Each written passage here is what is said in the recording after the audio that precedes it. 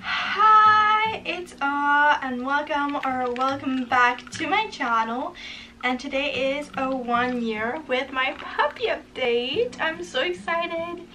So this little one is one years old right now. She's munching on uh, just a treat that I gave her. I'm not sure how long she's gonna stay, but um, let's see if she does.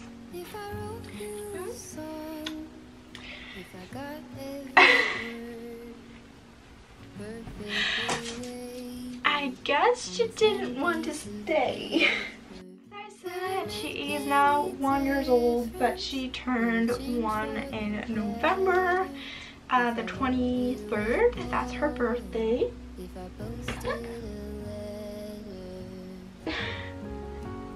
She's staring at me from the bottom of the bed. I don't know what what her deal is. Um, she will come up if she wants to, but um, I am doing this video because it's a year since I had her. Um, I'm filming this a little bit before, but uh, I basically had her the last weekend of January uh, last year and I wanted to do like a little update on her because I haven't done one in a really long time.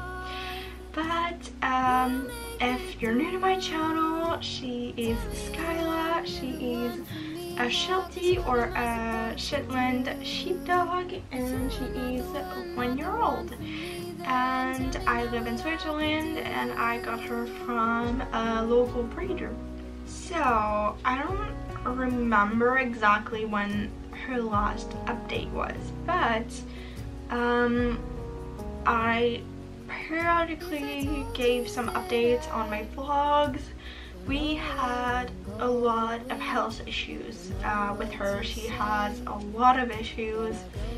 Um, but we finally figured out what it was um, and she has been diagnosed this summer with hypothyroidism which means that her thyroid doesn't produce enough hormones and it basically made her whole body shut down so her digestive tract wasn't working and her behavioral issues were through the roof. Um, she was scared of things like trying to put out, um, like close up blinds and opening a window and just like about everything. And we first thought that my education wasn't good enough and that was why we had so much issues. So we contacted um, a trainer and she came to our house assessed her and what we learned was that she was actually very well trained and very well behaved. And she said that's really common behaviors for a dog who has thyroid issues. So we got her checked out. She sees a specialist, um, a vet that specializes in thyroid problems and she is on uh, a few different medication to try and control that. Um, and it, it was going better. Three days after starting the treatment, she was potty trained, um, which was something that we had a lot of problem with. At nine months she wasn't using the bathroom like bathroom outside or anything like that. So it was really hard for my family and I and especially because I am disabled and I am chronically ill and I wanted to train her as a service dog um, as a service alert dog especially for migraines and paralysis attack I have a condition known as FND which causes random paralysis attack. And you may have noticed that I'm not using my left arm and that's because it's paralyzed. Both of my legs are as well. Um, so we thought that she was gonna help me unfortunately. Because we had so much issues with her training it didn't go as planned. It is the plan for this year though now that she is medicated and doing a lot better but basically that was a lot and she had her like period a little bit later and she she's gonna have them pretty soon actually, February if I'm correct. So she is soon gonna be um, fixed because with all her issues it is best to have her not have to um, have um, kids. I wanted to say kids, it's not kids, but like to have babies of her own. So that's the decision that we took and that's for the, her future. Um, other than that, she's been really, she's really well behaved. We had a couple issues with her being car sick, but actually think it's stress rather than uh, actually being car sick. Um, so we still have to figure that one out. And yeah, that's kind of like the, the big picture and mostly the issues that we had with her. Uh, which doesn't mean that we don't love her unconditionally. Um, but uh, other than that, um, she has recently been uh, more in my room. As you saw, she was on my bed, which was something that she didn't used to do when she was around that area when we diagnosed her because I went to the hospital for two weeks and after that she refused to come near my room we never understood why, um, but that's what happened. And she has recently, uh, and by recently I mean the last couple days me, uh, since the new, new year she slept once with me at night, which we allow her on the bed, yes, it's not the best, but that's what works for us. Um, but uh, she's been sleeping with uh, my parents in uh, their room and it's not they're they're not really happy about it and we all are trying as hard as we can to get her back into this room uh, which is mine. And we've been slowly uh, trying to help her with all of her fears which takes a long time um, because it's built habits at some point. When she is scared of something she it becomes a habit. So we have to have her unlearn all of those behaviors in order to heal. Um, we are also waiting to go back and see her family soon, hopefully. Um, because we haven't seen them in quite a while and uh, we wanted to see how her parents are doing and all of that. Um, so hopefully we will be able to go there soon again. And for grooming, because I know that that's like a big thing with uh, Shelties, um, she has been doing better. When she was uh, smaller, it was a big problem because she didn't have any patience. Um, but as she's been growing it's been uh, growing a lot better um, I've been able to groom her a lot more. She still doesn't like bath. That hasn't changed. Um, but thankfully it's not a breed that needs to be bathed a lot as long as it's brushed regularly. So that's um, that's, that's really good. We also found uh, the food that she likes. So we tried a bunch of options and we found uh, the Farmina brand. Um, they offer a variety of um, things, but they have uh, the one, I think they're called Digestion or something like that. But basically we finally found the foods that she actually enjoys and like is so excited to eat every day. Um, so it is going a lot she's eating a lot she's actually 8.6 kilos right now which uh, female Sheltie is between 7 and 10 so she's um, in the right um, scale so that's really good. She went down quite a lot actually when she was sick and now she's finally gaining all this weight back and finally enjoying eating again because around her diagnosis she was really sick because of that she wasn't eating. She was actually refusing totally to eat and she lost a lot of weight. And when we figure out um, figured out all of her meds we also tried a couple different um, brands of food and we found what works. So that's really good.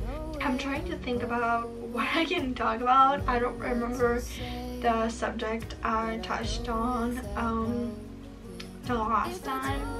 I think i talked about like the walks and stuff. Um, she is really an angel on walks. She has this really funny thing that when she sees a dog that she knows in front of her, she lays down and she waits for them to come. It's so cute. I absolutely love when she does that. It's the cutest thing ever. Um, as I said, she's fully potty trained now and we are slowly working on getting her to walk off leash it is quite hard. We had a lot of issues with that in the past uh, where we would um, unleash her and she would not come um, and go eat whatever she could find and it was really bad to the point that we had to stop completely and we are slowly building back to that um, but we tried everything, all the treats that she likes, she doesn't come for them. Um, her recall is good, um, but she's not interested in anything else than what's around. We tried cheese, like all of those really high value treats and it doesn't really work that well that well so we don't really know um, for that but we finally figured out a method which is just using a long line. She, so she has like five meters of lead before uh, she's like too far. And just to let go of it so if we need to catch her we can still step on leash if needed. So she's free but she doesn't have total freedom and she can she just can't run away so that's that's okay.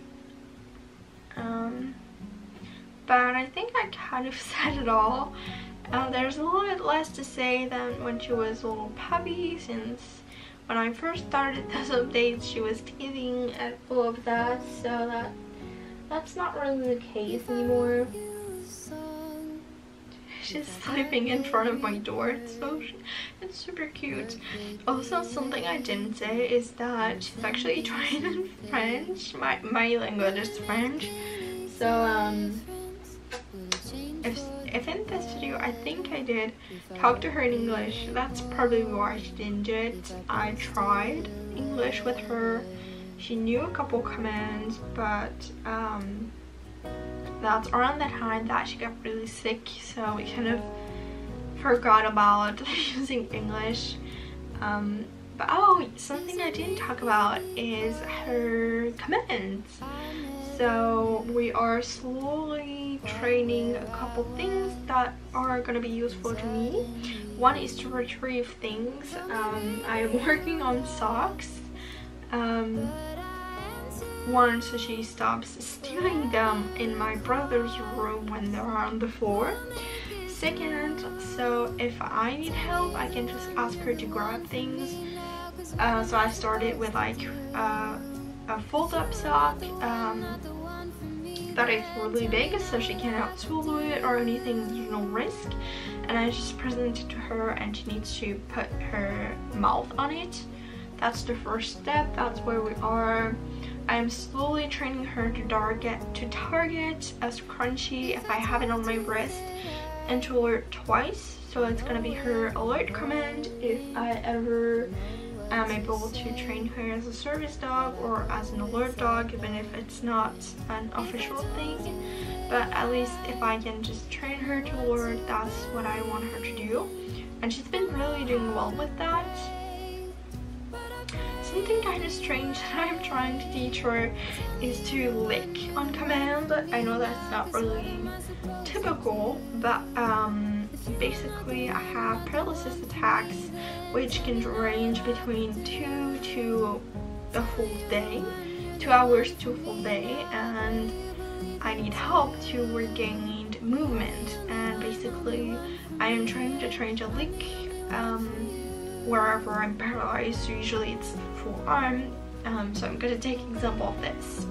So to have my hand like this and have her lick to help uh, my fingers un unbend and gain movement again because usually it's kind of fist and stiff.